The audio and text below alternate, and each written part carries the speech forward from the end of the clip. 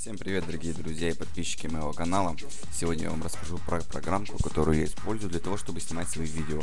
Данное, данное видео я снимаю по двум причинам. Во-первых, это мой вам совет и совет всем начинающим летсплейщикам там и так далее. Как что эта программка, она более подходит, нежели чем фраз, чтобы снимать видео.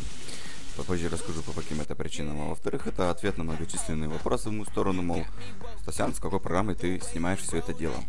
Итак, данная программка хороша тем, что снимает видео высокого качества, и данные файлы занимают очень мало места.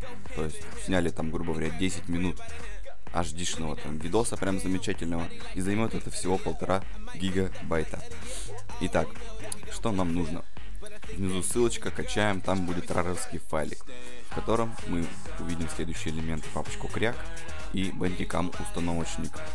Данная версия бандикама, разумеется, старая, потому что снова я еще не юзал, но вроде бы как бы можно кряк с новой версией бандикам, но лучше как бы не рисковать.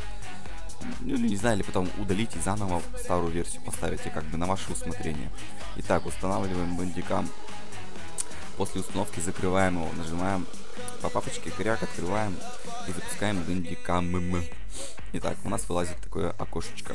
Написано типа введите свой e-mail. Как бы можно настоящий e-mail вводить.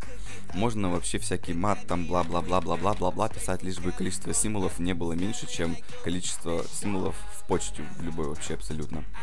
Uh, так как данный кряк, он взаимодействует конкретно с бендикамом, а не там с серверами какими-то онлайновскими, где потом вашу почту будут проверять, так что можете не ссать.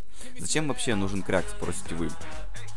А для того, потому что когда вы установите Bandicam, он будет не зарегистрирован. А если он будет не зарегистрирован, ваши видео будут длиться максимум 10 минут. И будет висеть такое лого здоровое сверху bandicam.com, то есть программа полной рекламы и всякой херни. Поэтому зарегистрировали, запустили снова, и вот у меня, допустим, email шапка 228, там бла-бла-бла. Сейчас я вам расскажу детально о настройке, так как, наверное, никто не знает, как более качественно настроить. Я вот более такими стандартными пользуюсь настроечками. И вроде бы, как видите, видео в хорошем качестве все, что игры, что конкретно рабочий стол. Э, качество я поставил 50, больше, мне кажется, не надо, нет смысла, только будет больше места занимать. Как бы не прям много, как фрапс, но просто зачем вам лишние 100-200 мегабайт. Э, кодек MP1 использую, галочка на YBR. Обязательно стоит у нас FPS 30, либо по стандарту 29 970. Все зависит от вашей видеокарты, от мощной, не мощной с моей видеокартой как бы это тоже норм. Хотя у меня GeForce GTX 460 и как бы она уже немножко устаревает. Окей. Так, расскажу еще про возможности логотипа. Вот тут у нас э, ссылочка, которая идет на стандартный логотип, когда ваша программа не зарегистрирована на bandicom.com. Создаем небольшой файлик, если вам нужно, там с логотипом вашего канала, условом подпишись, там лайкни, бла-бла-бла. Э, пихаем ее в корневую папку с бандикам. Э, данный файлик PNG обязательно. Ищем путь. Вот здесь у меня корневая папочка бандикам. Допустим, вот у меня стоит свой лого, которое вы сейчас видите на экране. Нажимаем ОК. А точнее открыть. Все, прозрачность там настраиваем и положение экрана. Вот то, что сейчас вы видите здесь логотип, он находится, считайте, вот здесь, как бы не совсем низко, как бы хотелось. Но я так понимаю, это из-за того, что у меня очень большой монитор. Э, также в этой рамке имеются эффекты мыши.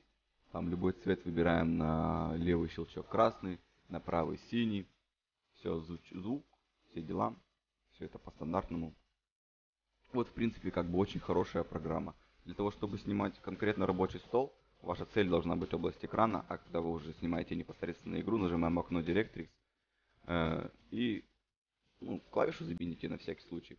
И когда вы зайдете в игру, нажмете просто F6, как у меня, и он автоматически распознает, что вы снимаете игру, выбирает процесс, и все, дальше вас попрет.